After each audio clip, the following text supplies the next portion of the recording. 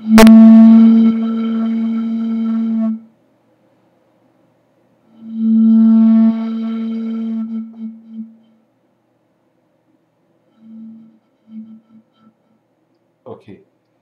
I need some VST or Kontakt Library or any other software uh, which can work in FL Studio uh, for my new song.